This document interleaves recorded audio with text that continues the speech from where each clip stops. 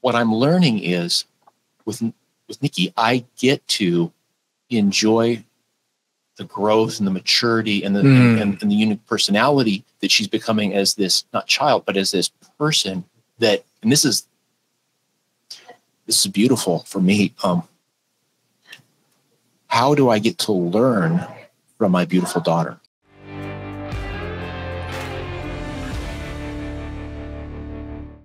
Well, welcome to the True Man Podcast. Now, if you're catching this on video, you're like, Mike, you're not alone. No, I am not alone. In fact, this is a very special podcast. Anybody that's watching this on video, and I, I you know, I'd love it if you are, you can see that Mr. Paul Baily is making an appearance here on the True Man Podcast. Now, Paul, yes sir the original co-host of the show. This goes back to May 2021, and here we are. Um, at the time we're recording this, as a matter of fact, we're making True Man history uh, once again.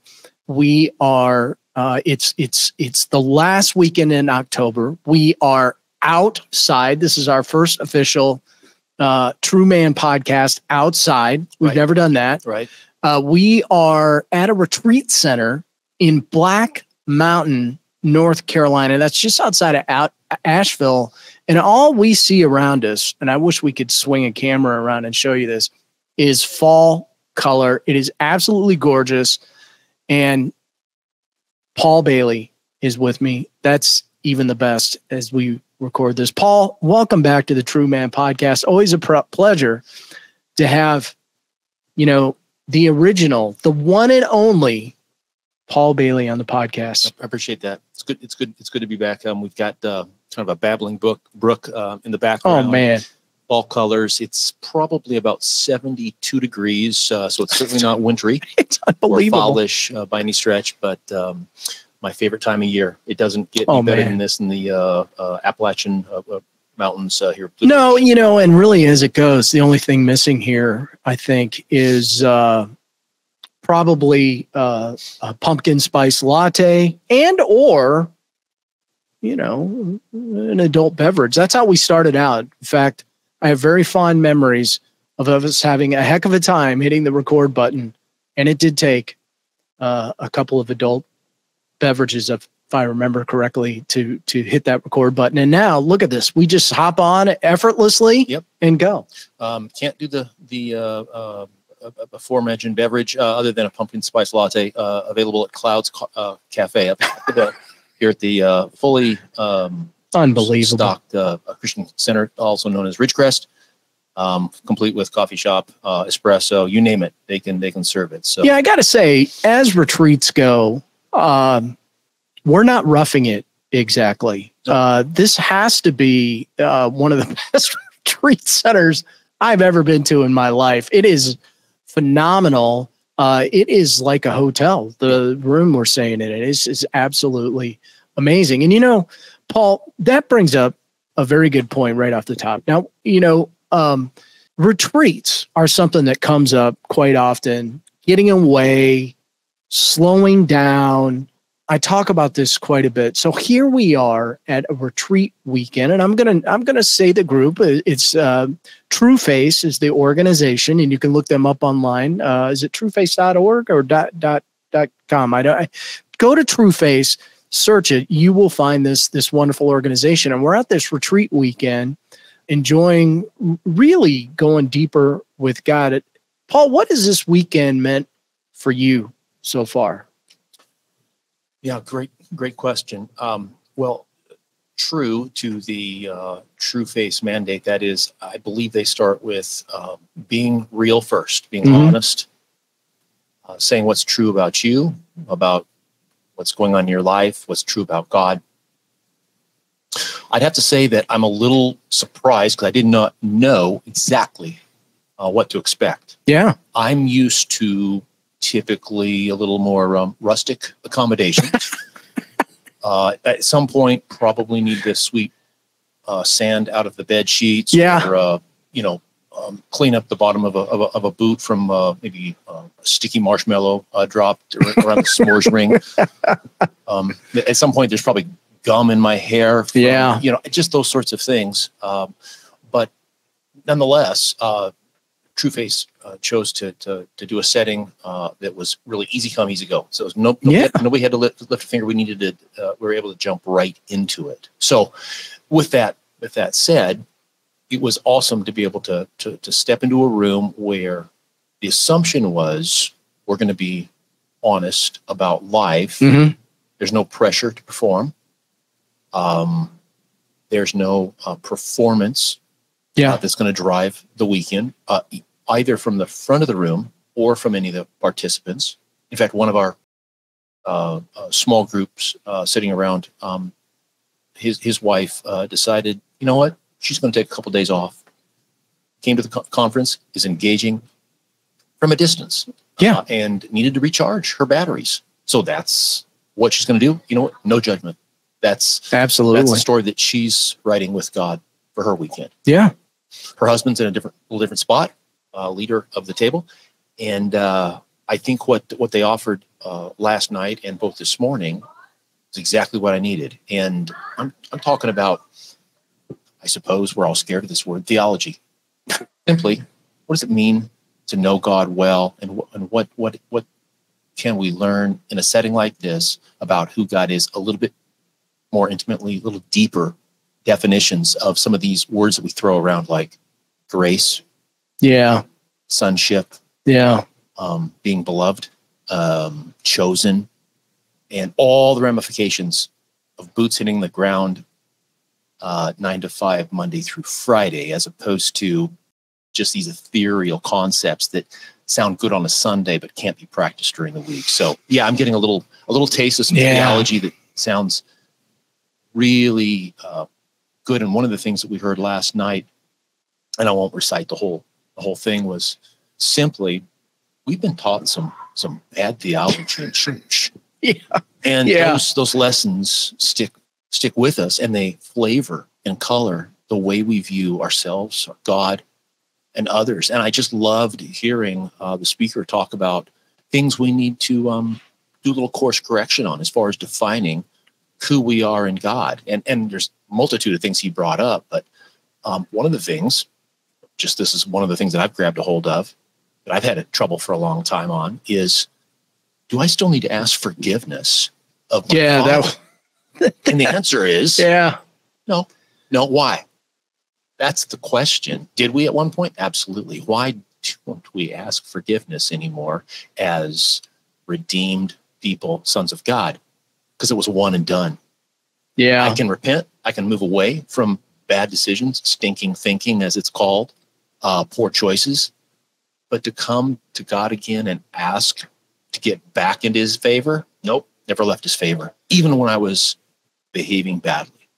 Yeah, you know, it's interesting, Paul. I, I I love well, first of all, I love being around smart people. I I love being around people that have thought this through at a much deeper level than I don't want to say that I have the ability to, but I love it when they they they bring me up. And I I I was telling Paul this last night. I said, you know, um, we started hearing the speaker last night and I started out and I started to check out a little bit and I thought, oh man, here we're going down this rabbit hole. And then it occurred to me after he was about 10 minutes in, no, no, no, no, no, hold on.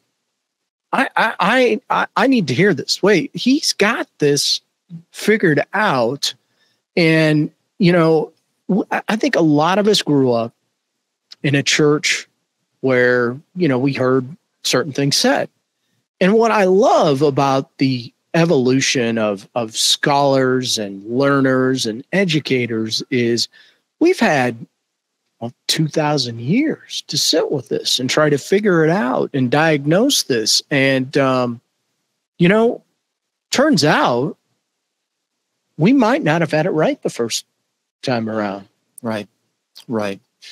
The people that teach are only as good as their understanding of God and the scriptures. Mm, yeah And unfortunately, and obviously, they're not uh, prone to perfection.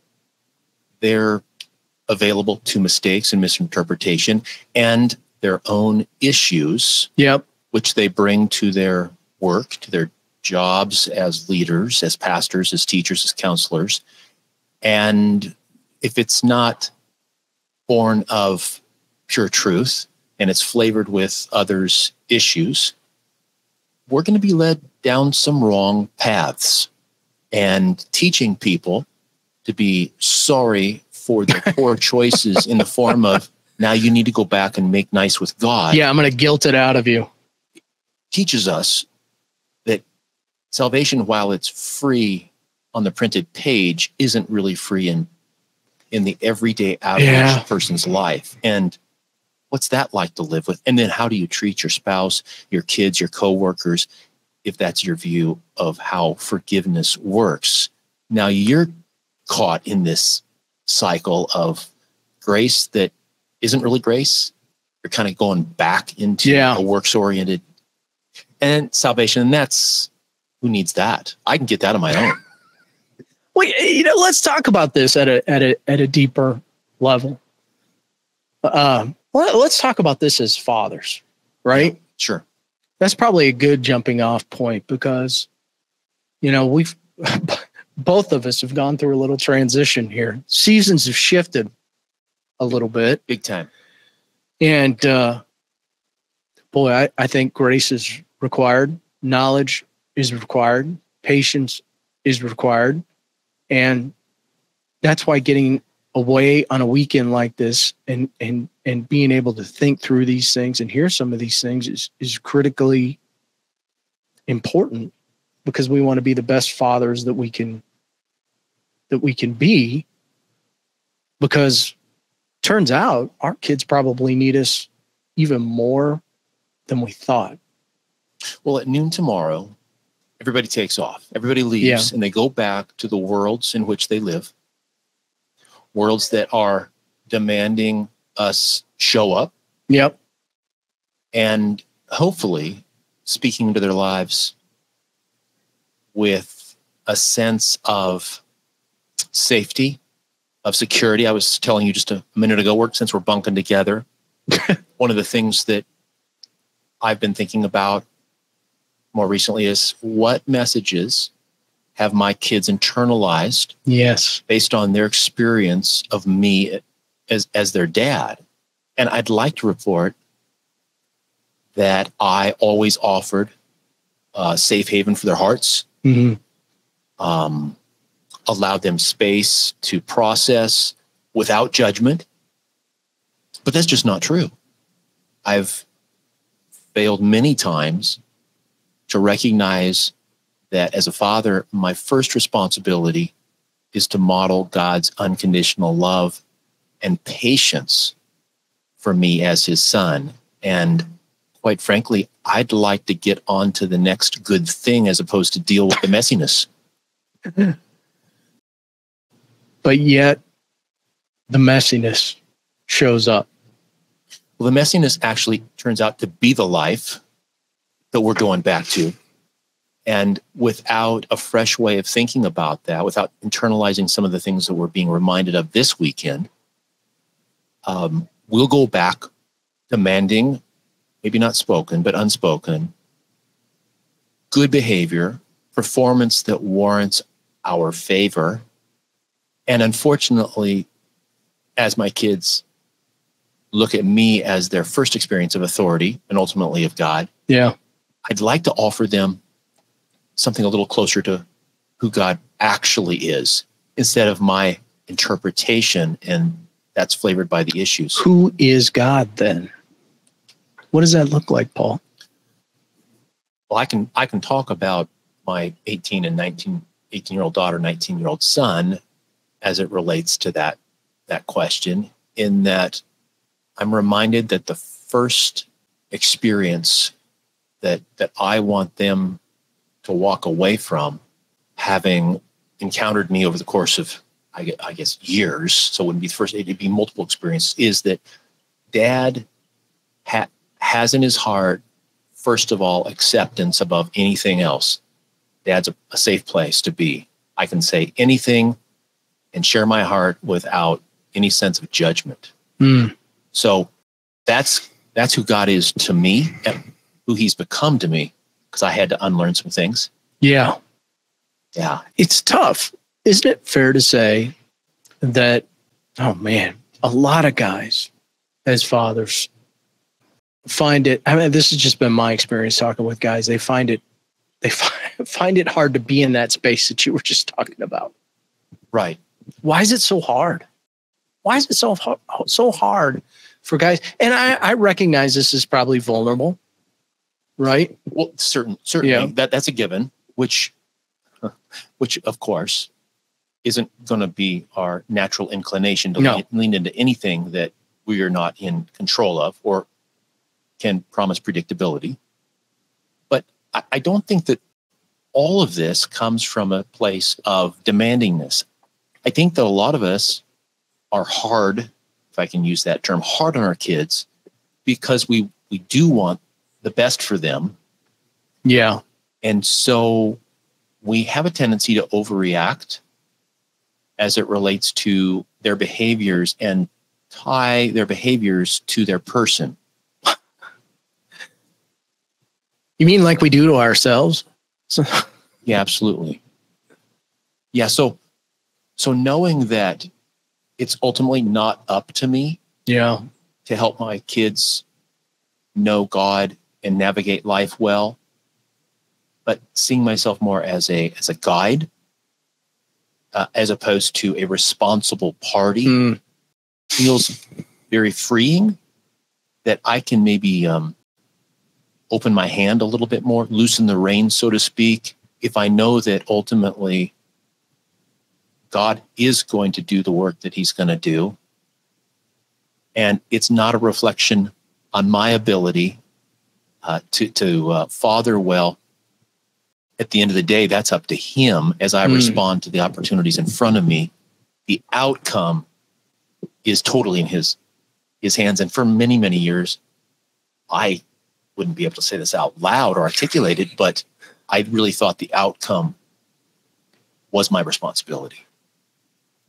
I think that's a natural thing to say as a father for most guys, right? Because we have children, they are our children. You know, we bring them home from the hospital and then we try to control every aspect. Well, we we do want to save them from pain. Yeah. We we do want to save them Fair. from the blowback of bad choices. However, I'm being reminded, especially with my 18 year old daughter, that while I have that strong desire and that's placed in me by God, the best I can do is to influence, not control. Because if the control worked, yeah, we'd have perfect kids.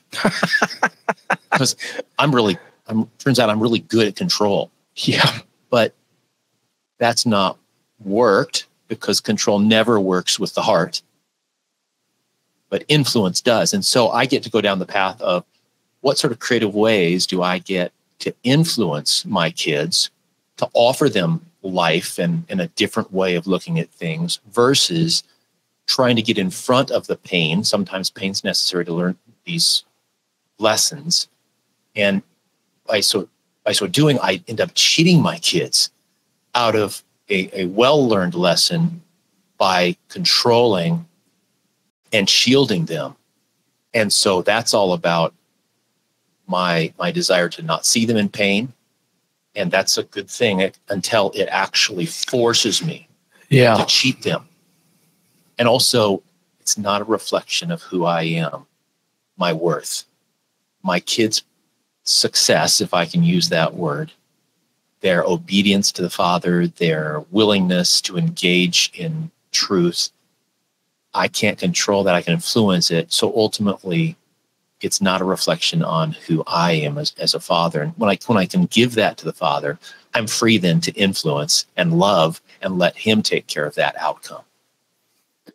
It's all we have, isn't it, Paul? I, now, listen, a lot of people, and you can talk about this as much or as little as you, as you would like you know, one of the things that I love about the True Man podcast is that if people come on, they tell their stories, they're they're they're vulnerable, and I think that's very helpful. uh, for for fathers that are listening, for for their children that are listening, for grandfathers, uh, for really anybody. But you've been going through a challenging time. Yeah. With your kids. Yes. And I, I do think that that that you know let, us address that a little bit and you can touch on it as much or, or as little as you want because i don't i don't try to pretend on this program that i have all the answers. Um, i'm searching for the answers just like you are. So, so talk about that a little bit. Let's touch on that. Sure. Last year we we came to realize that um, with my my daughter nicoletta um, uh, approaching her uh, junior year, um, excuse me, approaching her senior year, uh, coming up in the year, she had a boyfriend and things seemed to be really good on the surface. Yeah. Daughter is a very generous hearted, thoughtful, creative individual with her own set of challenges, of course. Little did we know she'd placed an awful lot of value, uh, maybe maybe of her self worth in this boy who which a lot of kids at that age do certainly right yeah yep. and we've all probably been through that absolutely. ourselves absolutely and, and and the reality is we've always encouraged relationship yeah so without going into a lot of detail yeah. we found ourselves uh, in crisis as she made some really poor choices in the face uh, of an unexpected breakup. And that led to hospitalization and several months of downward spiraling, uncharacteristic of this energetic, hopeful, creative little girl that I had become very attached. um, we had adopted all our kids close to birth, and so they're ours, and yeah. we know them. We know them well, but on account of a number of poor choices, we found ourselves having to make some really difficult decisions, having come to the realization that our hometown was probably not the place that uh, my daughter needed to finish out her senior year. It's a big county, but it, it's a small county. Yeah. And I suppose her concern about people knowing what's going on, memories, all the above, uh, would potentially hamper her growth and getting beyond. And so 4 a.m one morning in August, she was whisked away to a girls' academy slash ranch in Montana, um, where she is right now and doing very, very well. Of which we just uh, returned um, last weekend from a family visit slash workshop, which turns out to be far more about us than our daughter as it relates to what we're learning about about ourselves and tools that we can use to help influence. Yeah. So the um, story is half written. Yeah. it relates to this. Yeah, you're in the middle of it. Yep. Don't yeah. don't have a conclusion. Can't can't wrap it up with a lesson. Can't wrap it up uh, with a a tidy uh, final chapter. Yeah. Uh, this is how you do it. Uh, here's how the solution look looks. The the formula is that we don't that's not available to us. But the beauty in it, Paul, as I see it, is just like our Heavenly Father would do anything for us. Yes. You have stepped in to help your daughter, and you've gone to incredible lengths, no doubt about it, to try to help her and get her on track. And that's what fathering is all about. It, it, it is.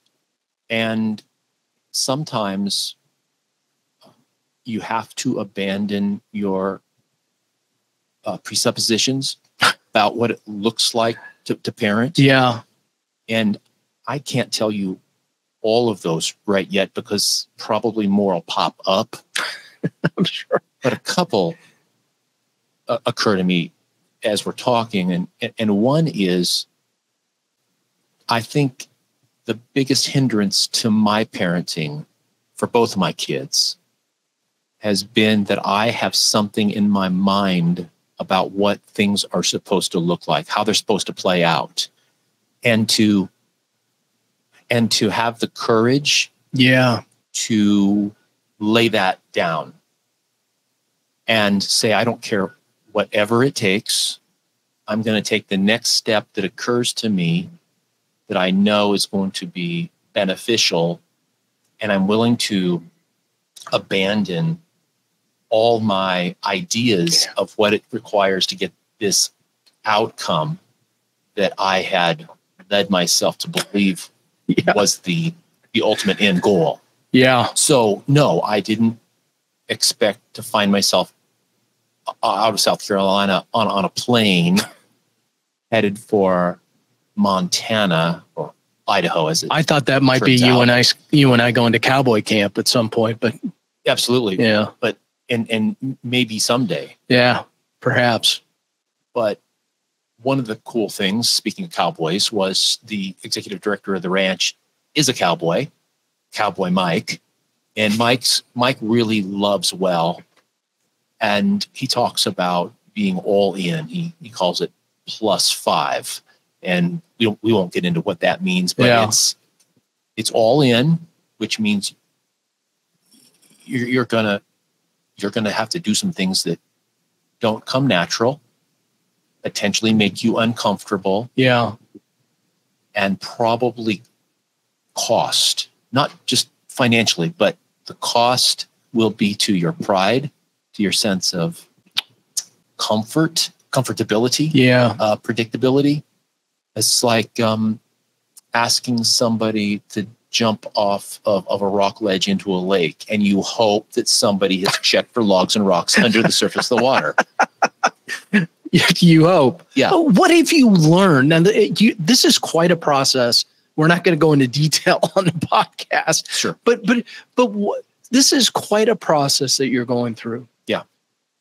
If you could share, what's one thing that you've as you've gone through this process as a parent, as a father, that that has come to you that that was maybe an aha moment you know, or something that you like, well, I missed that.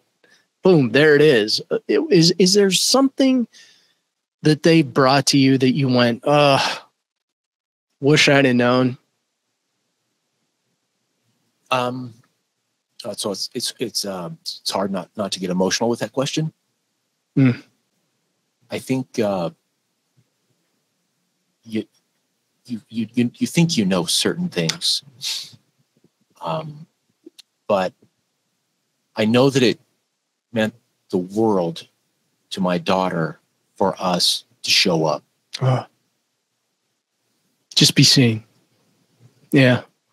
I, I didn't know what impact that that would have. Mm. And I didn't know how it would impact me because you don't realize how important you are to your kids because they'll tell you just the opposite. If we've all been on the receiving end of that. Yeah. But but showing up Mm. heart open, hmm doing the work. And that's Yeah. what we've been communicating to Yeah. her. Listen, you do your work.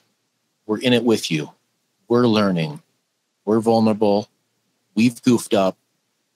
Let's move forward together. Puts us on a level playing field. Yeah. Like we're all moving, not you screwed up.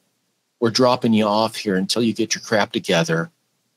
When you're when you're through your issues, you can get back on on the Baily train that is not the message that we believe uh, or want to communicate. It's wow, we've got a lot of growing to do, all of us. Yeah. And thank you for willing be willing to have the courage to do the work. We- We're in it with you. What a beautiful message. And, and isn't that true of all of us? Uh, if you're, I'm going to say, if you're open to it, if you're open to taking the action, we use that word action on every show, I think. Yeah. If you're open to it, there's so much more that we can learn and develop into our lives. it- it's hard to, but, but it's important to. It's very difficult to raise a child in which, in any one day, the first few years of their life, if you're not available on board, watching, you can lose them. I mean, it's it's Quickly. it can be Yeah. life, life or Yeah. death, right? I mean, we're sitting out here looking at a stream in the background, yeah. but for a two-year-old, that could be That- That's danger. that, that could yeah, be a lethal yeah. event, right? Yeah. Yeah, for So- sure. So literally, you're training yourself all day long. How do I keep this little person safe? And somehow in your mind, you never out outgrow that initial protective or whatnot. And so, what I'm learning is with with Nikki, I get to enjoy the growth and the maturity and the Mm. and, and the unique personality that she's becoming as this not child but as this person that and this is this is beautiful for me um how do i get to learn from my beautiful daughter that's a very different approach than how do i get her fixed Boy, you you got me right in the heart there, Paul. And I I mean, immediately you said that. I was thinking about my own daughter as she goes through her freshman year of college. Uh, really, with the ultimate goal, her ultimate goal would be to perform on Broadway. You know, at some point. And so we've we've watched her go through this this process, and now she's at the stage where she's being trained up. You know, she's she's left the nest she's being trained by you know professional people eh, to with the ultimate goal to get her where she she wants to go and and uh you know there there really isn't anything uh that we wouldn't do to help her achieve that dream Right. Right.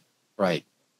So we get to either treat them as an extension of us yeah and control or fix, or at, at least denigrate the value that God has imbued them with, right?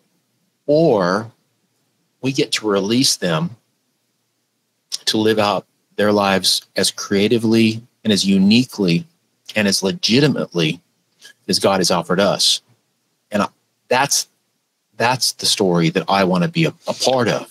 And that's been yeah that's been the big shift to, to circle Oh, way man. back to your to your first to your first question and that I know she has value. I knew she had value, but I didn't see the value in the way that I do now. And her knowing kind of got pressed into the corner Yeah. yeah just- so so her knowing that that's how I see it now Mm, actually accelerates that blossoming and that development. Whereas I could slow that down or I could retard that that that that process. Yeah, that you know that you know that's so beautiful because it, it- I feel like as I've as I've talked with other men and and hear various things that you know if I'd have to say if there's a regret that some guys had they didn't participate in their kids life. They weren't as present as they possibly could be. And when these big situations come up Right. you know you got to show up. And it's an opportunity to change the game. And you know i think that's available to all of us you know regardless of the situation. And i know guys i mean you you hear the stories i hear the stories. There are people that have st- stories right about their their families but man at the end of the day you got god you got your family and a handful of people that are close to you Which is what we're doing this weekend. set- Yeah. setting time aside intentionally out of out of very busy schedules. yes to say I have to prioritize my personal and spiritual growth yeah so that when I'm engaging with my wife, with my daughter, with my son, I don't waste the opportunities Yeah. that otherwise I will not be prepared for. The language that we're hearing this this weekend, the reminders of who we are uh, because of what God has done and is doing, will matter this next week to my family. It will matter next month. It's why it's so important. In fact, Paul and I just sat through a, a workshop on the, the the power of asking uh, good questions. And what's interesting is the guy that was doing that workshop talked about he he he's a he's a therapist, and one of the things he said is he never asked anybody why. And the minute he said it, I, I had this image of, of myself as a as a father asking my child why they did something, and, and, and you know we this is a this is a go to question that a lot of people do. And, I, and as I was reflecting on it in the moment, and as he was describing why he never asked why, I was thinking to myself, wow, that really is a damaging question. And I, as I was mm. relaying to you in the room after we, uh, the workshop, when we had a chance to talk about it, I said, man, how many times did we hear you know, does somebody say to little Johnny, "What what are you doing? Why are you doing that?" And with a tone of voice that is very accusatory, and essentially leaving them no place to go but to almost curl up in a little ball. And, and the question in that moment is, what kind of damage have you caused in that moment that might not show up mm. for a number of years down the line? Absolutely. And so you know, I think part of the reason I wanted to go to that workshop is obviously I'm a men's life coach. It's important for me to ask really good questions, but not just as a coach. It's important for me to ask good questions on the podcast. It's important for me to ask good questions of my friends and just in general. Yeah. Because it's all about building those relationships, whether it's with our children or with our uh, That's uh, right. clients. You know, as a financial advisor, you got to be able to ask very um, uh, detail oriented questions and build relationship. Otherwise, they're not going to they're not going to trust you as a financial advisor, and that's not good. that's right. And, and what comes to mind my mind is, and as as I have asked also that why question, that does not come from a place of curiosity or invitation. Right. That that comes from a, a place of judgment um, or um, accusation. Yes. Or maybe even condemnation. Wow. Yeah. So, so, and this is a little, I suppose, teaser for maybe the next time we we we talk. I, have been more acquainted with um, the work of the Arbinger Institute, and one of the things that I have picked up as far as the question I need to ask myself, and that is simply, as I approach this person, am I coming at it? Do I have a heart of peace or do I have a heart at war? Oh. And with my kids, I, I have to say, oftentimes, especially in their younger years, when I was irritated by behaviors, I was on the warpath. I may have not admitted to that, but I was not at all interested many times yeah. in engaging and inviting them to relationship so that we could move forward together. I just wanted retribution. I wanted I wanted the lesson to sting to, to to land, and it didn't occur to me that that was not serving my ultimate goal. Yeah, and so I'm asking myself now as I engage: Do I have a heart at peace or at war. And if I am at peace, mm. I am able to be inquisitive and invitational in these good questions. If I'm at war, there's no room. I have no interest in drawing you in. It's all about the, the punishment. Yeah, that that's so good, Paul. You know, it's really funny. I um over the last couple of years, and I think it's really as I've become a little bit more oriented and and understand what what uh, what my Holy Father has for me that word invitation. Oh, you know, I mean, I think I grew up in a world where it was like, oh, did you get invited to a party? You know, it was more along that lines. But that word invitation. Yeah. And making that invitation to those people around us, the people that we love, our friends, our family, the invitation to engage and build relationship. what a powerful world Right. word that is and and and um God, jesus models that jesus models that everywhere he goes throughout scripture Absolutely. And if we're going to invite people to conversation, to relationship, it means that we have an openness to be available without strings. And as you just mentioned, when Jesus invited to relationship, he had the capacity, obviously, as the Son of God, but also he knew he was deeply loved by the Father. Hmm. There was no fear of loss. All things were given to him, as we've been learning from Ephesians 1 yeah. We have all Yep. things. There is no ultimate loss. And so when we are not concerned about protecting something that we believe is ours we can live with open hands and invite as opposed to protect and position.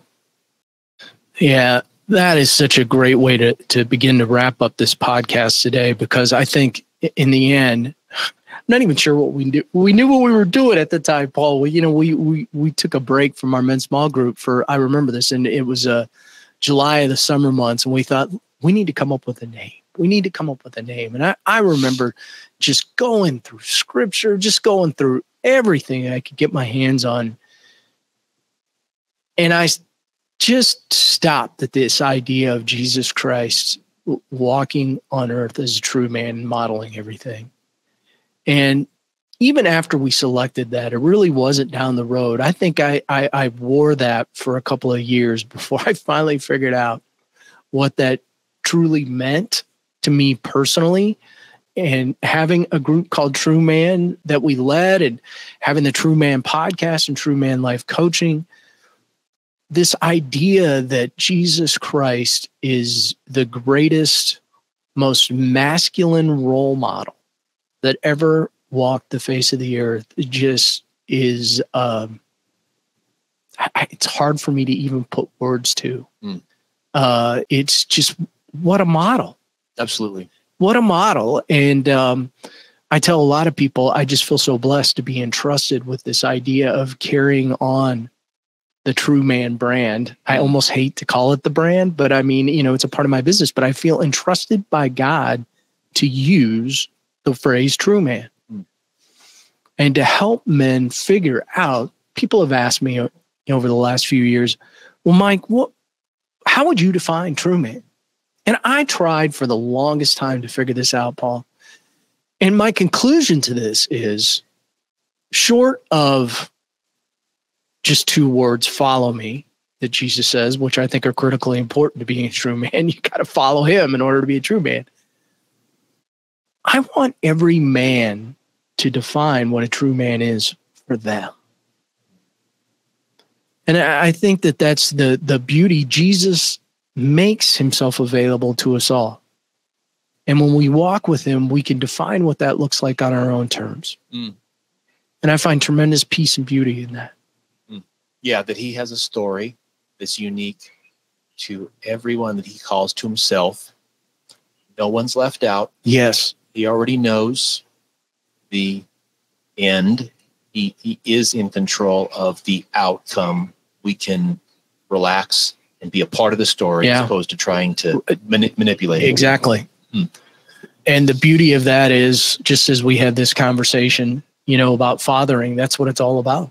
It's all about, you know, we we walk with him and we define our life through him, with him, uh, helping us guide be the guide along the way and holding our our hope in him. And and uh um gosh paul we- we're so lucky uh to be able to do this. Um so glad we started it. It's pretty amazing. I would have never said a couple of years ago yeah we'll, we'll just be sitting outside one saturday in black mountain north carolina Yeah. recording a podcast with the fall leaves around us. Yeah. but but here we are so thank you paul for coming on the the podcast it's always great to have a brother like you great to be here uh, absolutely to do the podcast. Any any last words you'd like to part us with, Paul, before we uh, wrap up today? i guess i just encourage those that are part of this listenership to uh, just anticipate with a, a sense of hopefulness that God knows what he's doing. He's not forgotten you. He, he sees the pain, he sees the confusion. He's offering opportunities, and he is waiting at every turn to bless those he loves. Amen to that. Paul, always a pleasure. You're always welcome back on the Appreciate True. Man podcast. Take care. Thank you, brother.